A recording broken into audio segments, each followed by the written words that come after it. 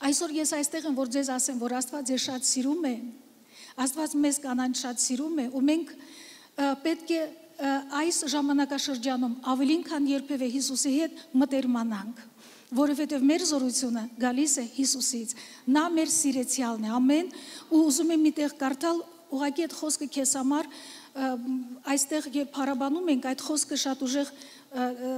տեսա այդ խոսքը որ դա ուղղակի հնչեցնեմ որ դա վերաբերվում է քեզ Աստված քեզ այդպես է տեսնում Ուրեմն այդ խոսքը գրված է Եսայա մարգարեության 62 գլխում 3-րդ համարում. Եւ դու փառավոր պսակ կլինես տիրոջ ձերքումը եւ արխայական թակ քո աստծո ափումը Պսակը, պսակը դա մի գեղեցիկ բան է, ասեմ ձեզ, որ ինքը ամեն մի կնոջը սազում է։ Ամեն մի կնոջը։ Ու պսակը ինքը խոսում է նրա մասին, որ դու ինչ որ մեկին պատկանում ես։ Դա խոսում է քո կարգավիճակի մասին դա ամեն մի հարսիկ, որը պատրաստվում է հարսանիքին, առանց պսակի չի լինում։ Իր գեղեցիկ հանդերձ հանդերձը, հարսանյաց ու ամենի պսակը ամենավերջում նա դնում է պսակը ու պսակը շատ իրան գեղեցկացնում է ու երբ նորապսակները, երիտասարդները ամուսնանում են, գիտեք, իրանց օրհնում են, դա խոսում է դրա մասին, որ իրանք մտնում են մի նոր իրանց կյանքի կարգավիճակի մեջ։ Այդպես էլ մենք, երբ Աստված մեզ գտավ, երբ նա մեզ ընտրեց, երբ նա մեզ սիրեց, նա մեզ պսակեց իր փառքով եւ իր պատվով։ Ու այդ պսակը յուրաքանչյուրի վրա կա։ Մենք պետք է տեսնենք դա, որովհետև Աստված տեսնում է այդ պսակը մեր յուրաքանչյուրի վրա, փառքի, պատվի այդ գեղեցկության պսակը։ Ու Աստված այսօր ասում է՝ դու իմն ես, ու ես քեզ սիրել, սիրել եմ շատ մեծ սիրով։ Ամեն երջանիկ է գիտեք այն կինը, ով որ գիտի, որ նա շատ սիրված է։ Մի անգամ մի երիտասարդ զույգ մեր եկեղեցում որ ամուսնացել է, մի որոշ ժամանակ անցավ ու մի հասուն այսպես տարիքով եղբայր ասեց այս աղջիկը ինչպես փայլում է ավելի սիրունացել է երևում ամուսին իրան սիրում է այսինքն սերը գեղեցկացնում է մարդուն Աստված սիրեց քեզ ու ինքը իր որդուն տվեց քեզ համար հարց է ինչքանով դու հավատում ես որ նա քեզ սիրում է եւ ինչքանով թույլ ես տալիս, որ նա սիրի քեզ։ Երբեմն կանայք այնքան այնքան վիրավորված են լինում, որ երբ մեկը ուզում է սիրո նշաններ ցուցաբերի իր հանդեպ, նա այսպես մերժում է, ասում է, չէ, ես փակել եմ իմ սիրտը ամենի համար։ Ես չեմ ուզում ընդունել ոչ մեկից սերը, որտեվ այլևս ես չեմ հավատում մարդկանց։ Գիտեք, Աստված միակն է, ում դու կարող ես հավատալ միակն է, ում համար դու կարող ես բացել քո սիրտը։ Մի անգամ Աստված ինձ աղոթքի մեջ այդպես ասեց. Ես երբ ես աղոթում եմ ու Աստված ինձ ասեց. բացիր քո սիրտը։ Մի վախեցիր, որ ես քեզ պիտի վիրավորեմ։ Որովհետև ես այնպեսի անձնավորություն եմ, որ ես բոլորի առաջ բաց եի, ու ոչ բոլորն են ճիշտ ձևով վարվում ինձ հետ։ Որտեղ մարդիկ այնպեսին են, ինչպեսին կան։ Ու Աստված ինձ ասեց մի բան, որը ես մինչև կյանքիս վերջը հիշեցի ասեց ես միակն եմ, որ երբեք երբեք քեզ չեմ վիրավորի։ Ես միակն եմ, որ ես քեզ երբեք չեմ վնասի, որովհետև ես սիրում եմ քեզ եւ իմ սերը ապացուցել եմ նրանով, որ իմ կյանքը տվել եմ քեզ։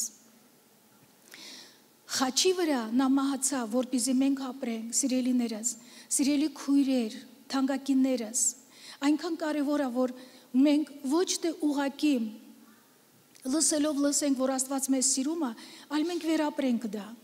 Մենք գիտենք բոլորս, որ Աստված սեր է ու Աստված մեզ սիրում է, բայց հարց է, ինչքանով մենք այսօր գիտենք, որ Աստված սիրում է հենց անձամ քեզ։ Ինչքանով։ Ես շատ աշխատանք եմ արել, որպեսզի Աստծո սերը ընդունեմ իմ հանդեպ, որովհետև ես ոմանց նման է, որ ես գիտեի, որ Աստված սիրում է, բայց ինչ որ մի բան այսպես ոնց որ պաշտպանում էր իմ սիրտը, Բայց երբ ես բացեցի իմ սիրտը, Աստված դիպավ ու շատ բաներ փոխվեց իմ կյանքում։ Ամեն։ Գիտեք, իրականում, երբ դու սիրված ես, դու գեղեցկանում ես։ Երբ դու սիրված ես, դու քեզ երջանիկ ես զգում։ Որոշ կանայք մտածում են, որ պետք է անպայման ես ամուսնանամ, որ մեկը ինձ սիրի։ Բայց գիտեք, ես հանդիպել եմ այդպիսի դեպքեր, որ կին ամուսնացել է ու նա չի վերապրում սեր իր ամուսնուց։ Նա մտածում էր երևի երեխաներ ունենամ։ Իմ սերը կփոխանցեմ երեխաներին ու երեխաները ինձ կսիրեն, ելի չգործում, որտեղ մի կարևոր բան է խախտված՝ մարդու եւ Աստծո փոխհարաբերությունը։ Գիտեք, մենք իդեալական այդպիսի ընտանիքներ գոյություն չունեն, որտեղ ընտանիքները բաղկանում են մարդկանցից։ Բայց ընտանիքը դառնում է իդեալական, երբ Հիսուսը այդ ընտանիքում ապրում է, տիրում է, գործում է, իշխում է եւ իր սիրով թակավորում է։ Երջանիկ է այդ ընտանիքը, ամեն Այո, Աստված արժանի է, որ մենք իրան ծափահարենք, որ մենք իրան ճպտանք, որ մենք իր ներկայության մեջ լինենք երջանիկ, ամեն, որ մենք բաց թողնենք ամեն բացասական վերապրումները, երևույթները, հիշողությունները։ Եթե մենք ունենք Աստված, որը իրական է, մենք Աստծո ներկայության մեջ պետք է մեզ երջանիկ զգանք, սիրելիներս։ Ամեն այսօր այստեղ նստած նստած կանանցից հիասքանչ, գեղեցիկ, անուշի կանանցից ոչ մեկը չի կարող ասել, որ իմ կյանքում ամեն ինչ իդեալական եղել է ու հիմա էլ իդեալական կա, որովհետև մենք ապրում ենք մի աշխարհում, որը իդեալական չէ, որը մեղքի մեջ է։ Ու մենք ապրում ենք մարդկանց հետ, որոնք իդեալական չեն։ Ամեն իդեալական Աստված է, որ ապրում է քո մեջ։ Ու քո միջոցով նա ուզում է իր գեղեցկությունը, իր քաղցրությունը, իր սերո ներկայությունը բերել բոլոր ընտանիքի անդամների մեջ։ Դու ինչպես կին շատ կարևոր օղակ ես շատ կարևոր ես։ Դու քո ընտանիքի սիրտն ես։ Դու քո ընտանիքի սյունն ես։ Ամեն։ Ու ես գիտեք, մի բան եմ, մի բան եմ զգում, որ այստեղ կան կանայք, որ շատ ընտանիքի մեծ պատասխանատվությունը մեծ ընտանիքի պատասխանատվությունը մեծամասնությամբ վերցրել են իրանց վրա ու դրանից դժգոհում են ու դրանից իրան շատ դժբախտ են զգում սիրելիներս Ես հավատում եմ, որ Սուրբ Հոգին, որ այստեղ է, ինքը այսօր ձեզ պիտի ազատագրի, որովհետև խոսքը այդպես ասում, որտեղ Տիրոջ Հոգին է, այնտեղ ազատություն կա։ Որտեղ Տիրոջ Հոգին է, այստեղ հաստատ Տիրոջ Հոգին է, որտեղ մենք հավաքվել ենք Հիսուսի անունով։ Ու Սուրբ Հոգին եկել է այստեղ, որպեսզի դիպչի ձեզ ամեն մեկին։ Ամեն սիրելիներս, ամեն մեկին Սուրբ Հոգին դիպչի։ Ու մի բան էլ ասեմ ձեզ, որ Աստված ինքը մեզ ամենասկզբից ստեղծել է նրա համար, որpիսի մենք կրենք իր փառքի պսակը։ Ու մեղքի պատճառով այդ փառքի պսակը կորցրեց եւ Ադամը եւ Եվան։ Բայց մեր Տեր Հիսուսը ինքը որ արժանի էր փառքի պսակին, ինքը հակավ բշե պսակը։ Այդ բշե պսակը խոսում էր անարգանքի, մերժվածության, միայնակության, չգնահատակ չգնահատվելու մասին, չհասկացված լինելու մասին։ Ու Հիսուսը լավ հասկանում էր, որ որ աշխարհում է նա ապրում ու ինքը եկել է հենց այս մեղավոր աշխարհի համար, որ այն բոլոր տանջանքները, մեղքերը, անեծքները, հիվանդությունները, որ կա այս աշխարհի մեջ, որ Հիսուսը այդ բոլորը վեր առնի իր վրա ու տանի խաչին։ Ու որ մենք այսօր, որ ապրում ենք Հիսուսի խաչելությունից այս կողմ, որ մենք հավատանք, որ այսօր մենք ազատ ենք այդ ամենից ու ինքը գրեց Պշե պսակը, այսինքն անեսկի պսակը գրեց, որ เป զի մեզ նորից վերադարձնի այդ парքի պսակը։ Դրա համար ես ասում եմ Աստծո խոսքի համաձայն, որ ձեր յուրաքանչյուրի վրա այդ парքի, այդ պատվի պսակն է։ 8-րդ Սաղմոսում վերջի համարում գրված է. Աստված մեզ պսակեց պատվով եւ парքով։ Եկեք հավատանք, դա չի երևում, բայց դա իրականում կա։ դա Ամեն, որովհետև դու Աստծո սրբությունն ես։ Ու խոսքը այդպես ասում, որ դու Աստծո սիրեցյալն ես։ Դու Աստծո սրբությունն ես։ Դու Աստծո ընտրվածն ես։ Դու Աստծո սիրելին ես։ Աստված է այդպես ասում։ Ես չեմ ասում։ Իմ դուրը գալիս է ինչ ասում է Աստված, ես էլ իր խոսքերը փոխանցում եմ ձեզ։ Ամեն։ Դուք այդպիսինն եք։ Դուք սիրեցյալ եք, սիրեց նրա սիրեցյալներն եք, սիրված եք, ամեն Գիտեք, մարդը ստեղծված է սիրո պահանջով։ Ճիշտ եմ ասում։ Ամեն մի մարդը պահանջ ունի սիրո։ Երեխան էլ որ ծնվում է, ասում են, որ երբ երեխան լաց է լինում, ամենալավ հանգստացնելու միջոցը երեխային գրկելն է, նորածինին գրկելն է, որ ինքը հանգստանում, ինքը մոր հոտն է զգում, մոր ձայն է զգում, ջերմությունն է մարմնի զգում։ Գիտեք, ինքը հանգստանում է, որովհետև ինքը վերապրում է սեր, ապահովություն, պաշտպանություն եւ ընդունելություն, ոչ թե մերժվածություն։ Երբ դու այս աշխարհի մեջ հանդիպում ես տագնապների, մարտահրավերների ու երբեմն թույլ ես տալիս, որ քեզ միայնակ ամերժված զգաս, գցիր քեզ հոր գիրկը, որտեղ այնտեղ է քո հանգստությունը, այնտեղ է քո ապահովությունը, սիրելիներս։ Ոնց է դա կատարվում, երբ դու հոգ ես տանում քո եւ Աստծո հարաբերության մասին, որտեվ մարդը ստեղծված է հարաբերության համար, փոխհարաբերությունների համար։ Մարդը չի ստեղծված, որպեսզի ինքը մեն, մենակ մեկուսացված, ինքը իր վրա կենտրոնացած ապրի։ Դա ամենադժբախտ կյանքն է։ Այն մարդիկ, ովքեր այդպես են ապրում, մենք ասում ենք, որ իրանց հոգեկանը մի քիչ խախտված է։ Բայց Հիսուսը եկել է, որ ամեն խախտումներից մեզ ազատի, ամեն ու մեզ նորից վերադարձնի հաղորդակցության մեջ իր հետ։ Ու ինչ երջանկություն է, որ մենք կանայք կարող ենք հաղորդակցվել մեկի հետ, ով որ մեր գինը շատ բարձր է գնահատում, մեր արժեքը բարձր է գնահատում։ Կարող են մարդիկ քեզ այդպես չգնահատեն, քո բարեկամը, քո հարազատը այդպես քեզ չգնահատի, բայց իմացիր, մեր Տեր Հիսուսը, Հայր Աստվածը, եւ Սուրբ Հոգին, որ ստեղծել են մեզ, իրան գիտեն, ինչքան դու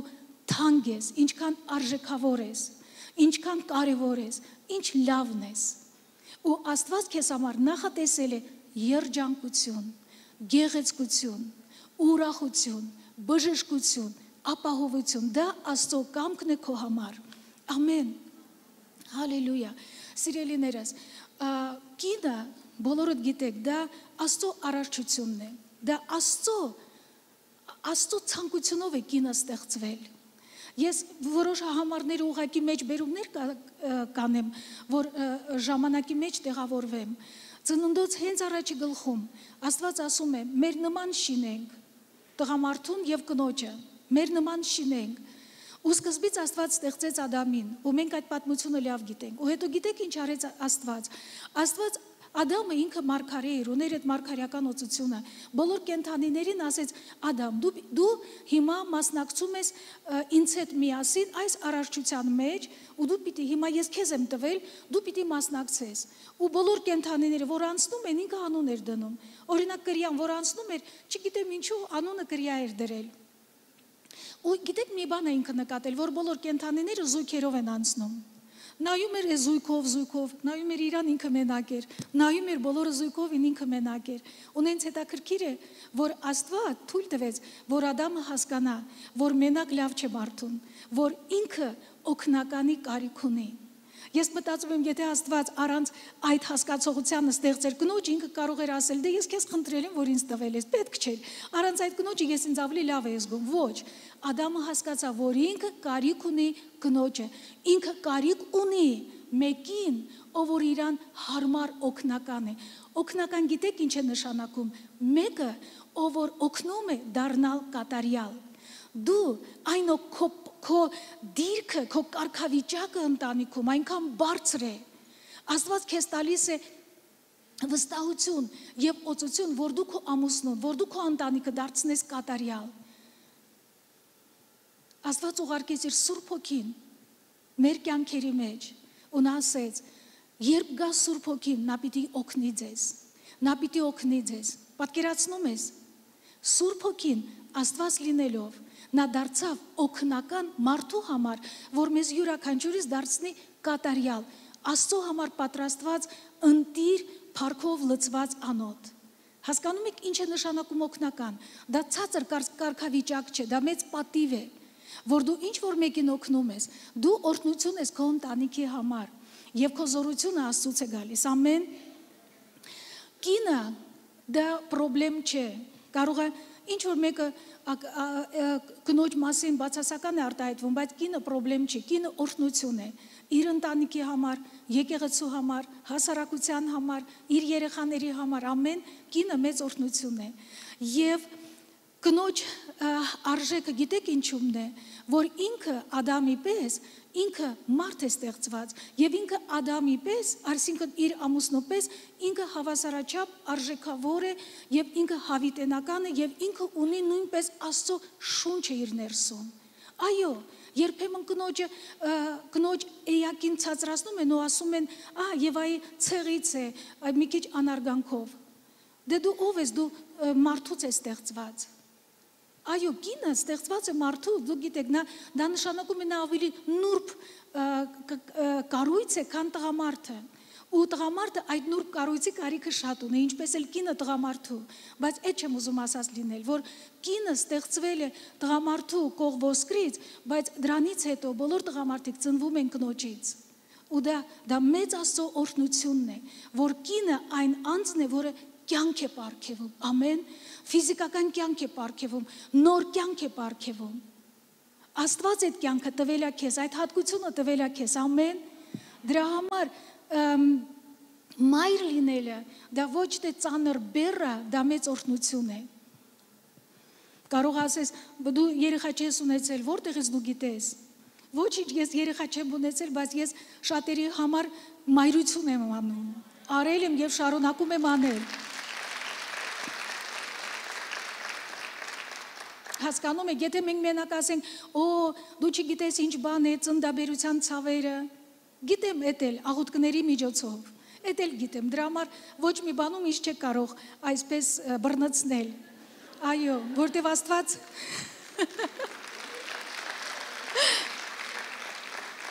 այնպեսի աղոթքների Աստված տալիս, որ մի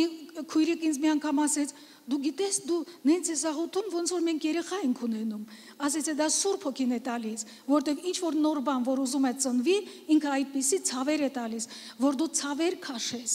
նոր բաներ ծնվելուց առաջ։ Ամեն սիրելիներս։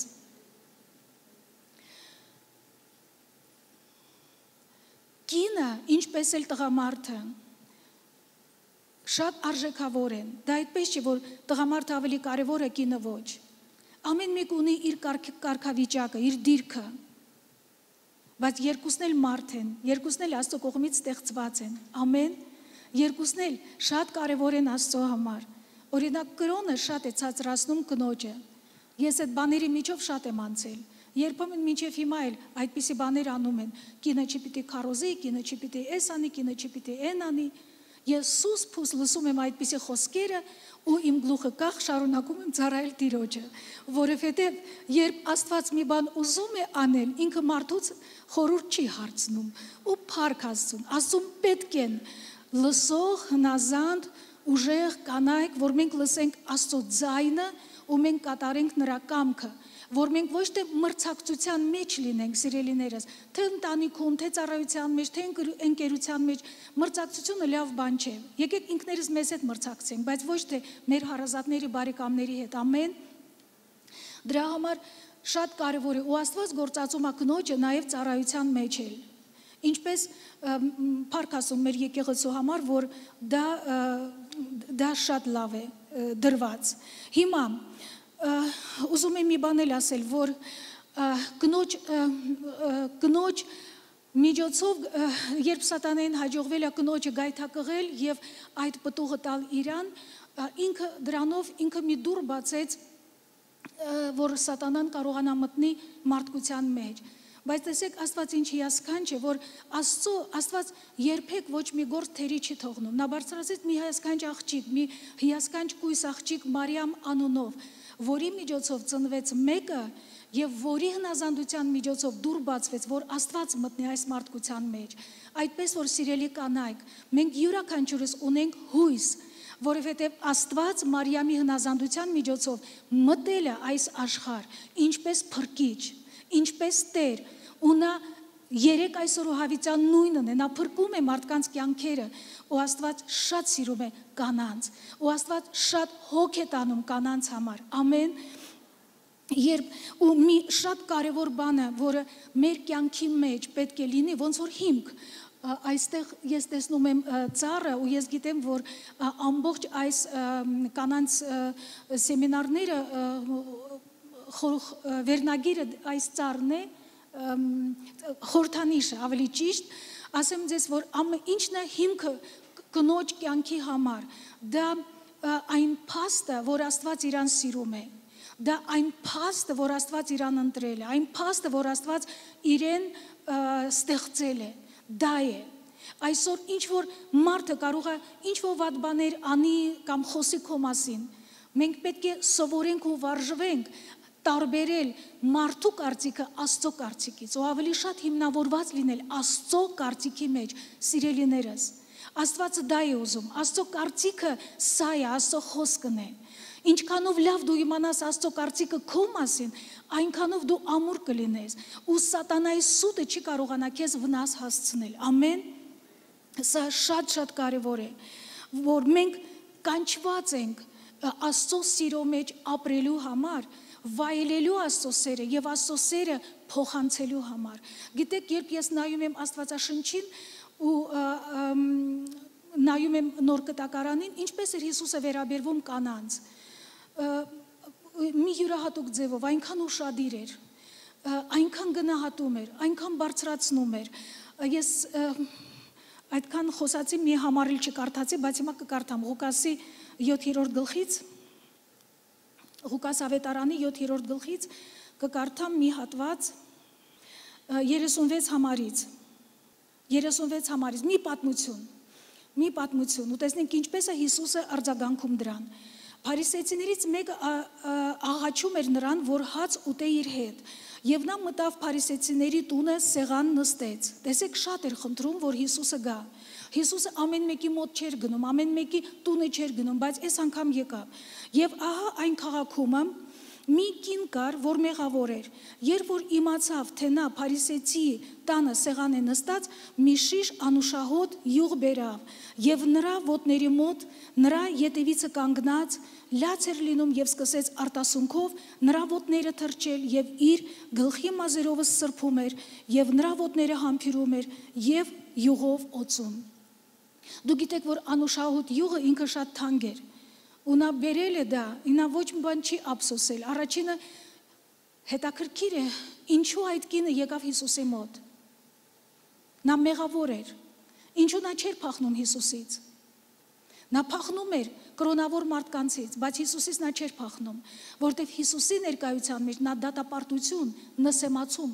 չէր վերապրում։ Ու նա մի բան լսել է Հիսուսի մասին, որ Հիսուսը մեղավորների բարեկամն է։ Ու Հիսուսը եկել է մեղավորներին ազատելու իրենց մեղքերից, որովհետև մեղքը մի բան է, որը մարդուն փչացնում է։ Դրա համար երբ նա լսեց, նա չնայեց, որ այդ փարիսեցին իր վրա կարող է ուրիշ ձևով նայի, իր համար շատ կարևոր էր, որ ինքը ստանա ազատություն իր մեղքերից։ Նա ամոթը դրեց են կողմ ու եկավ ու ուղիղ եկավ Հիսուսի մոտ։ Նա ծնկի եկավ, ինչպես գրված է, անուշահոտ եւ արցունքներով լվանում էր ոտքերը։ Գիտեք, ես պատկերացնում եմ ինչքան նա լաց էր լինում, որովհետեւ ինչքան պիտի լաց լինես, որ այդ արցունքները այդքան ջուր լինի, որ ոտքերը դու կարողանաս լվալ։ Դա խոսում էր իր ապաշխարության, խորը ապաշխարության մասին։ Նա շատ ուժեղ զղջում էր Հիսուսի առաջ, որտեղ Հիսուսը միակ տղամարդն էր, որի ներկայության մեջ ինքը իրան լավ էր զգում։ Ու անուշահոտ յուղն էլ նա օծում էր Դա խոսում է, որ նա պատվում էր Հիսուսին։ Եվ Փարիսեցին, Փարիսեցին էլ, որ նրան կանչել էր, երբ որ տեսավ, իր մտքում ասում էր. «Սա եթե մի մարգարե էր, ապա չգիտենար, թե ով ով կամ ինչպիսի կին է նա, որ իրան մոտենում է, որովհետև մեղավոր է»։ Փարիսեցիները, կրոնավոր մարդիկ, տարբերություն են դնում արդար մարդ, մեղավոր մարդ։ Նրանք իրանց համարում են արդար ու անարգում են մեղավորներին։ Հիսուսը այդպիսի բան չէր անում։ Ու հետաքրքիրը, որ Փարիսեցին հravirել է Հիսուսին չիմանալով ով է Հիսուսը։ Ինքը Հիսուսի մասին գիտեր, որ նա ուղակի մարգարե է, բայց ասկինը մի քիչ ավելի շատ էր շատ շատ գիտեր, որ Հիսուսը մեղքեր թողող անձնավորություն է։ Եվ Հիսուսը պատասխանեց եւ ասեց նրան. Սիմոն, մի բան ունեմ քեզ ասելու։ Նա էլ ասեց. Ասիր վարդապետ, եւ ասեց. Մի փող տվող երկու պարտական ուներ, մեկը 500 դահեկան էր պարտական եւ մյուսը 50 եւ երբ որ նրանք բան չունեին վճարելու երկուս երկուսին էլ շնորհեց արդ նրանցից որն ավելի կսիրե նրան ասիր Սիմոնն էլ պատասխանեց եւ ասեց ինձ այսպես է երևում թե նա որ նրան շատ շնորհեց նա էլ ասեց նրան ուղիղ դատեցիր Բարկասուն այս հարցում ինքը ճիշտ պատասխան տվեց եւ դառնալով դեպի կինը Սիմոնին ասեց. Տեսնում ես այս կինը ես քո տունը մտա իմ ոտներին դու ջուր չես տվել բայց սա իր արտասունքովը թրջեց ոտներս եւ իր գլխի մազերովը սրբեց այն ժամանակ դա պատվի եւ հարգանքի նշան էր որ մեկը հյուր էր գալիս Իսրայելը անապատային տեղ էր որտեղ շատ փոշոտ էր ամեն ինչը մարդիկ էլ բաց սանդալներով են ման գալիս Եվ ինչպես հարգանքի նշան միշտ ջուր են տալիս, որ ոտքերը լվային ու հետո տուն մտնեին։ Հիսուս այդ բանը նկատեց, որ Սիմոնը, որ իրան հravirել է, ինքը այդ հարգանքի ու այդ պատվի նշանը չի ցուցաբերել։ Հետո ասում է. դու ինձ համբյուր չես տվել,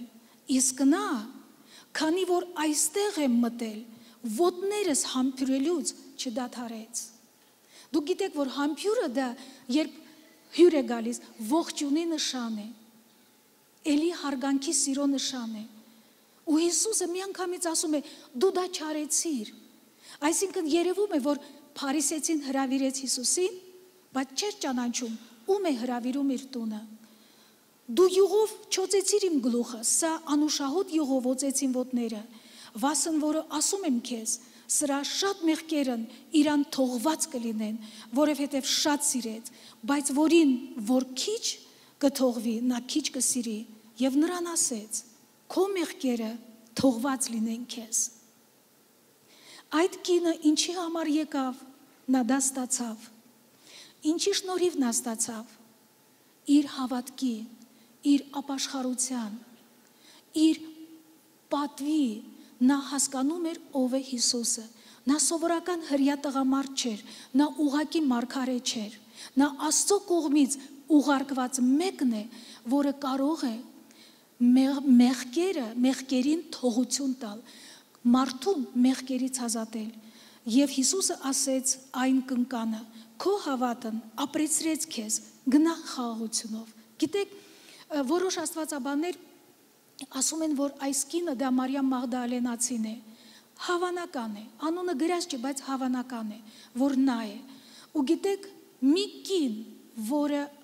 ուներ վատ համբավ, որը մեղավոր էր ամբողջ քաղաքում,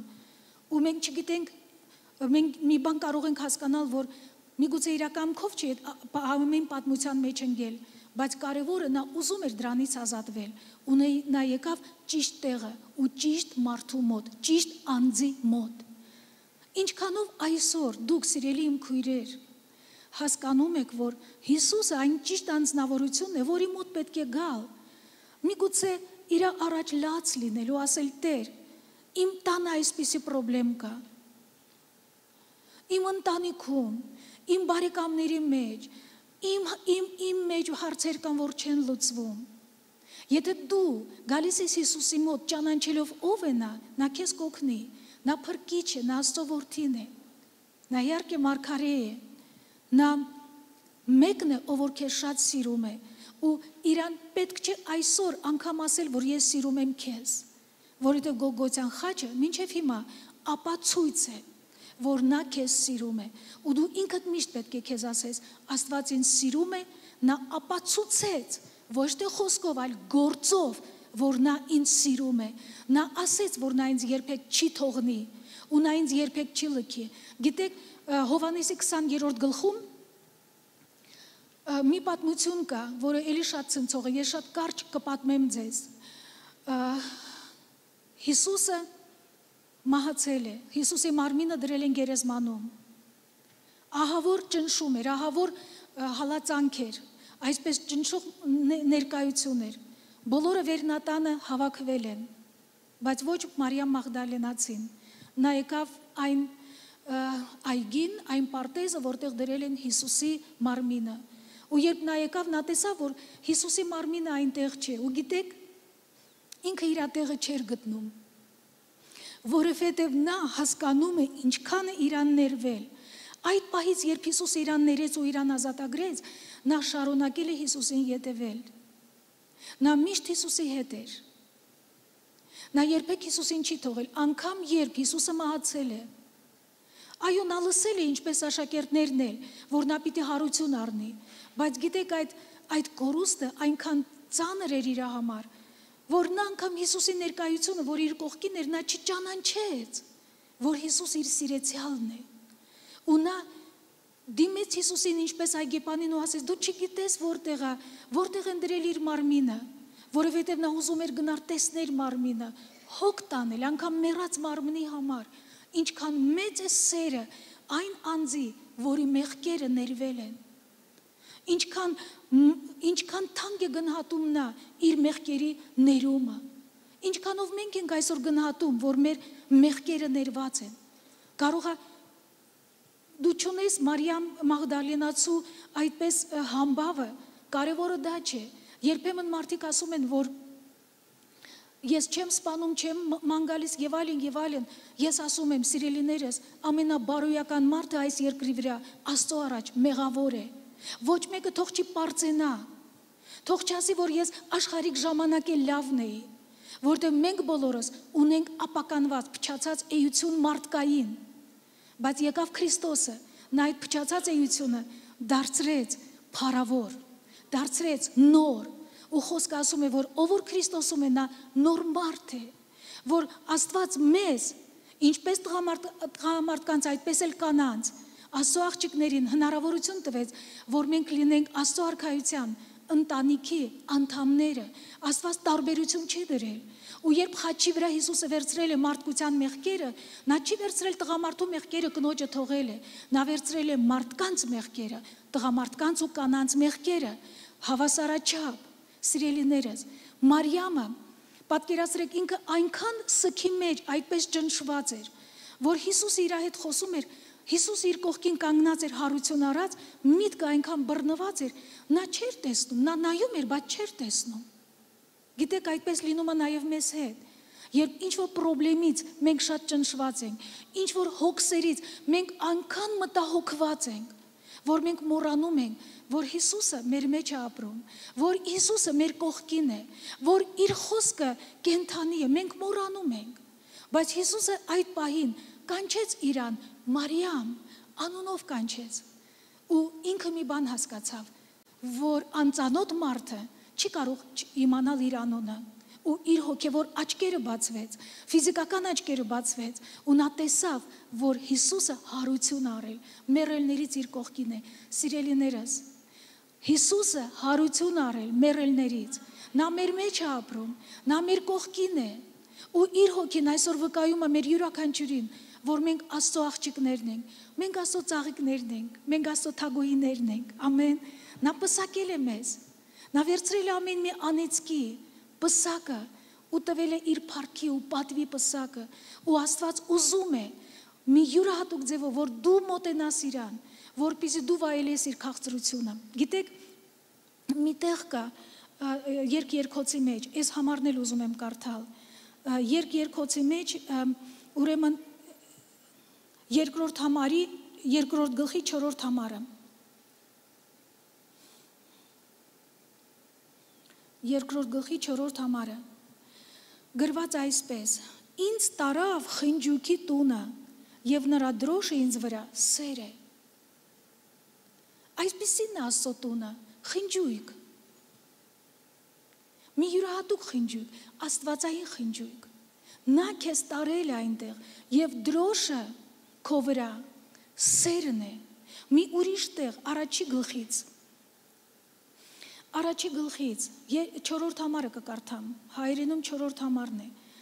Տեսեք ինչ է ասում։ Ասում է՝ «Քաշիր ինձ, յետևիցը կվազենք»։ Թակավորն ինձ տարավ իր սենյակները, ցնցանք եւ ուրախանանք քեզ հետ։ Քո սերը ավելի հիշենք, քան թե գինին, ուղությամբ սիրում ենք քեզ։ Սա խոսում է սիրո այդ մտերմության մասին։ Ու մենք հավատում ենք, որ այս կանանց այս սեմինարների միջոցով Աստված ուզում է ամեն մի կնոջը մոտիկ բերել իր ներկայության մեջ, ավելի մոտիկ։ Միգուցե հոգսերի պատճառով, խնդիրների, ինչ որ մարտահրավերների պատճառով դու հեռացել ես քո հարաբերությունը Աստծո հետ, այսպես սարել է։ Ինչ որ հիասթափություն է եղել, որ դու քո աղոթքի պատասխանները չես ստացել։ Այսօր այն օրն է, որ Աստված ուզում է կարգի բերել, որ դու ներողություն խնդրես Աստվածանից ու քո վերաբերմունքը, քո հարաբերությունը վերականգնվի։ Ու մի համարել այս նույն գլխից մի ցնցող համար է, տեսեք 11-րդ համարը այսպես ասում. Քանի որ թակավորը իր սեղանի վրա էր, իմ նարդոսը իր յուղը բուրեց։ Իր հոտը բուրեց։ Քանի որ թակավորը իր սեղանի վրա էր, իմ նարդոսը իր հոտը բյուրեց։ Երբ Աստծո ներկայությունը կա քո կյանքում, երբ դու հանդիպում ես իր հետ, այն ժամանակ քո բուրմունքը ինչպես ծաղիկի ինքը այդ հոտը սկսում է բյուրել։ Երբ մենք Աստծոց հեռու հեռու ենք, մեր հոտը, որ Աստված յուրաքանչյուր բուրմունքը, որ դրել է մեր մեջ, այդ բուրմունքը ինքը հոտ չի հանում։ Պատկերացնում եք։ Աստված կանչում է մեզ իր հետ մտերմության մեջ։ Ամեն Հալելույա։ Ու ես ուզում եմ ձեզ հետ միասին այսօր աղոտ մեր աղոտկով մենք մոտենանք իրեն։ Եթե դուք ուզում եք, եթե դուք հասկանում եք, որ դուք կարիք ունեք ավելի մոտիկ լինել Աստծո հետ։ Դու զգում ես, որ ինչ որ մի բան քեզ խանգարում է, որ դու մոտիկ լինես Տիրոջ հետ։ Ես չգիտեմ, միգուցե վիրավորանք է, հիասթափություն է, Միգուցե ինչ որ սառնություն է եկել։ Միգուցե դու ինչ որ գիտակցաբար ինչ որ բան ես թույլ տվել։ Ես չգիտեմ, Աստված գիտի։ Բայց մի բան ես հաստատ գիտեմ, որ Աստված քեզ սիրում է ու նա նա ուզում է, որ դու իր ձայնը լսես, նա ուզում է իր ներկայությունը լինի քո սեղանի մոտ։ Այսինքն այնտեղ որ այն վայրում, որտեղ դու խոսում ես Աստծո հետ, որ քո բուրմունքը, իր հոտը այսպես տարածի։ Ամեն Եթե դուք ուզում եք դա, եկեք մենք կանգնենք ոտքի եւ իրար հետ միասին աղոթենք։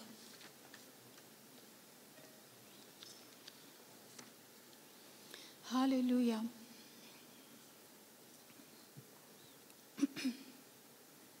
Հալելույա։ Չգիտեմ, այստեղ դաշնամուր նվագողները գնացել են։ Ոչինչ։ Եկեք լսենք ինչպես երկինքն է նվագում, որտեվ Սուրբ Հոգին ինքը այստեղ է։ Ամեն եկեք միգուցե եւ լավ է որ չեն նվագում, որ մենք շատ པարզ լսենք երկնքի ձայնը։ Խնդրում եմ ձեզ։ Այսօր քո հավատքից է կախված։ Հիսուսը այն կնոջ ասեց. գնա քո հավատքը քեզ փրկեց։ Փրկեց նշանակում ազատագրեց, բժշկեց, փոխեց։ Այսօր Աստված ինչ որ բան կարող է փոխել քո կյանքում։ Եթե այստեղ կան օրիորդներ, ովքեր շատ մտահոգված են ամուսնության համար, ես ուզում եմ ասել, որ եղեք երջանիկ այն կարգավիճակի մեջ, ինչի մեջ դուք կաք։ Դուք կամուսնանաք ճիշտ ժամանակին, բայց թող դա ձեզ համար բեր չլինի։ Երբեմն ես տեսնում եմ աղջիկներին, որ մենակ դրա մասին են մտածում։ Գիտեք ինչու, որ իրանք իրանց լիարժեք չեն զգում առանց ինչ որ մեկի։ Աստված ուզում է, որ դու իր քո լիարժեքությունը տեսնես իր մեջ, որ լիարժեք ամուսնանաս մեկի հետ, ով որ նույնպես լիարժեք է, որ հետո խնդիրներ չլինեն, որ հետո ծառայես Տիրոջը։ Ամեն սիրելիներս։ Ես ուզում եմ մի բան ասել ձեզ, սիրելիներս, Աստծո ներկայության հանդեպ եկեք անտարբեր չլինենք։ Եկեք վատ բաների հանդեպ անտարբեր լինենք, բամբասանքի, վիրավորանքների? Մեղքի հանդեպ լինենք անտարբեր, բայց Աստծո հանդեպ չլինենք անտարբեր։ Ամեն